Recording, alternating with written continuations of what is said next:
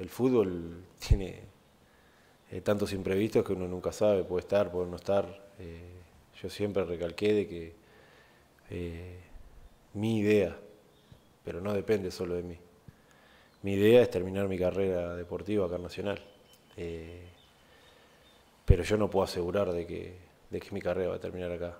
El fútbol te lleva para donde, para donde quiere y, y después no es, no es única y, sola mi, mi decisión.